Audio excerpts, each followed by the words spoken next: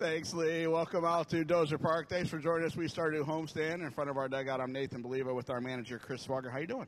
Very well. How are you? Good. Energized after uh, the off day yesterday? Yeah. Uh, sure. Sure. Yeah. No, it was. Uh, we got in pretty late uh, with Sunday morning. I don't think I got in bed till like 4 a.m. So uh, I had a nice little noon wake up call. Yeah. From uh, Randy Neiman, uh, who's in town. He was letting me know he was coming, and uh, I was dead asleep and just said okay. So.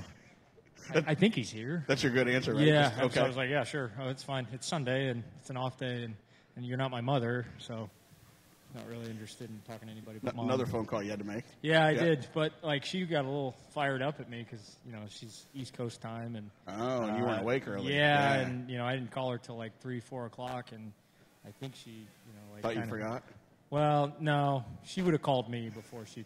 before she gave up yeah, on you. Yeah, exactly. But um, you know, I think clearly my younger brother's the favorite child now. Oh, at least for like a day or two yeah. until he does. You got to find a way to. Yeah, he'll. Well, I mean, He'll take care of that himself. Absolutely. Okay. So yeah, I just I think being away from home makes me the favorite child. So That's, that says quite a lot Yeah. right there. Um, good road trip for the Chiefs. Four wins in a row to, to finish, and in all four games fell behind and, and battled back. A couple of those with runs in the ninth inning uh, or, or tenth inning in the case in Bowling Green. You had to be pretty happy with the, the way that road trip ended up and, and the fight that these guys showed in those last four games. yeah, I think uh, one of the big things that I, I know you've heard me talk about it a lot uh, that we preach is just like being able to finish games, you know, through 27 outs or 30 outs if we go extra, whatever it is, but just uh, playing until the last out is recorded. And I think our guys are doing uh, a very good job of that. I think we did a good job of that last year uh, when we had some success in the standings. And so, um, you know, just how these guys continue to play regardless of the score, kind of taking every at bat and you know every pitch uh, and every play on defense as its own entity, I think is a really good thing and a really positive, um, you know, attribute for our club.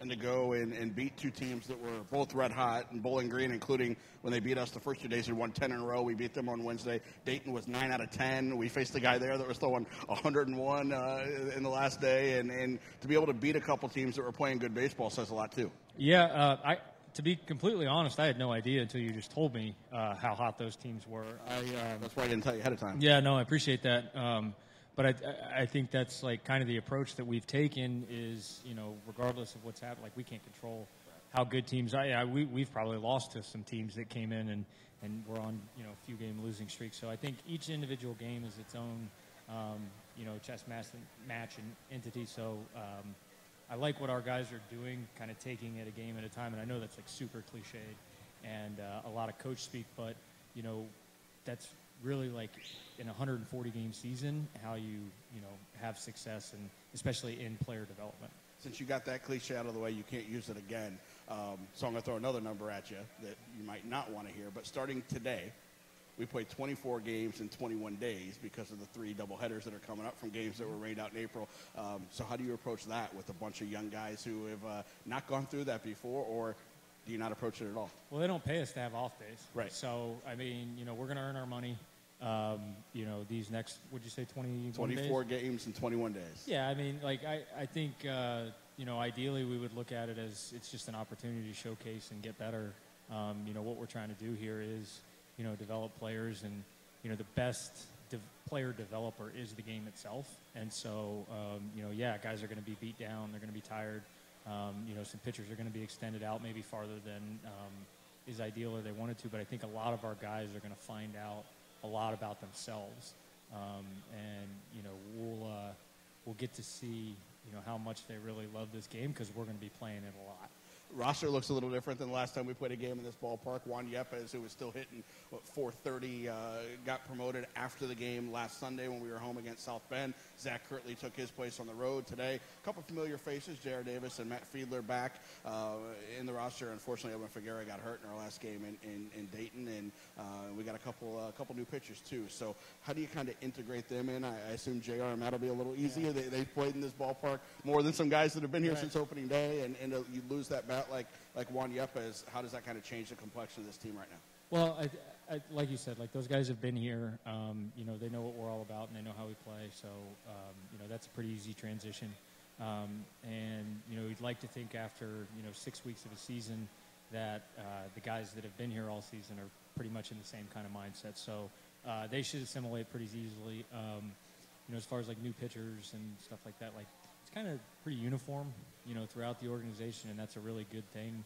Um, you know, regardless of what level you're at, like the expectations uh, and what's being taught is pretty consistent. So um, it's never really, you know, a challenge to get new guys in here. You know, we got to go over the signs, but um, You have you've seen me for two years. Like I, I don't really put a whole lot on, you know, and most of them are pretty obvious. So, um, you know, a lot of times I just do a lot of dummy signs. And are they are they No, listening? they're not. They're this? not out here. You're good. Okay, perfect. We'll, we'll erase this from the internet. It yeah, I mean, like not like, you know.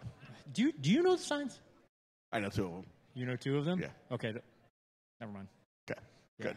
yeah. Um, speaking What are, of what peop- are they? What, what, No, sign, I- what signs do you know? I don't. I don't do the. I don't do a test. I just. I, I can tell from upstairs. this is not a test. What you're going to do. front. It's a conversation. You- Yeah, I know. Um, speaking of people that are familiar to this ballpark, Good pivot right yeah, there. absolutely.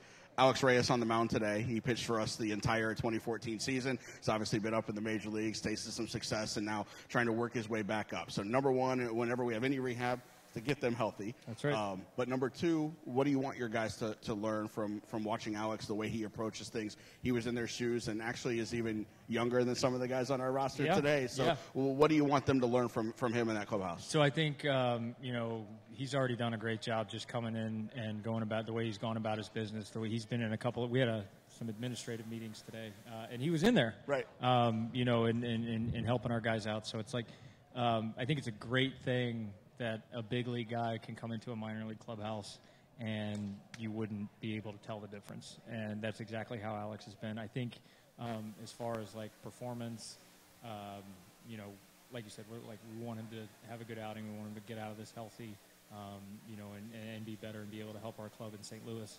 Um, but you know, for our younger guys to see and be around a guy that was in their shoes, what three years ago? Four. Four years Yep. ago. So I mean, I, I- think sometimes they lose sight of like how close they really are. Um, and you know, Alex is a great reminder of you know like how um, you know like the big leagues looks far away, but you know it's actually kind of closer than you think, especially if you perform.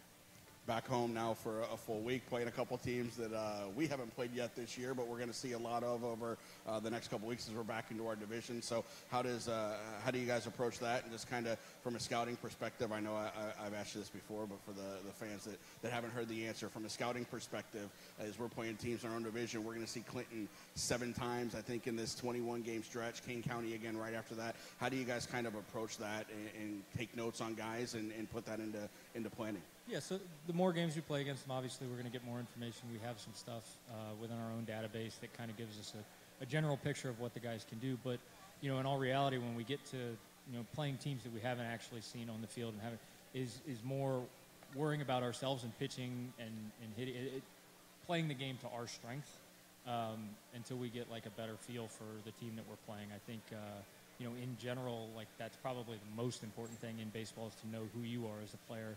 So we stick to that, um, you know, pretty hardcore until we, um, you know, get enough information to get an actual good read on the team, and then we'll kind of adjust to them. But um, I think controlling what we can control with our own game, uh, individual games, is is what's always the most important. Sounds good. Let's uh, let's keep it rolling out there tonight. Sound good? Thanks, Nate. All right. Thanks, Appreciate Chris Swauger, our managers. We get ready for this seven-game homestand. We're home all week, 11 a.m. tomorrow and Wednesday, and then 6:30 Thursday, Friday, Saturday, 2 o'clock Sunday. We got fireworks coming up on Friday and Saturday as well. Thanks for coming out, spending your Monday with us here at Dozer Park.